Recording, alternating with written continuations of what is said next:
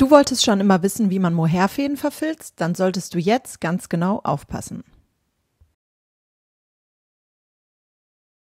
Lege die Fäden drei bis vier Zentimeter überlappend aufeinander und die Enden dann mit den Fingern fixieren und mit etwas Speichel befeuchten.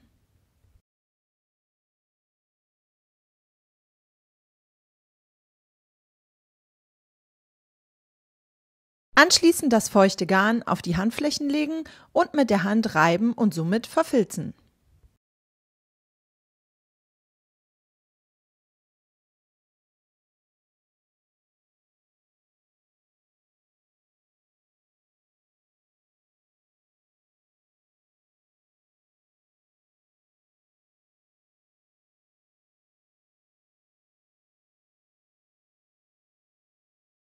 Zum Schluss noch den Faden eindrehen.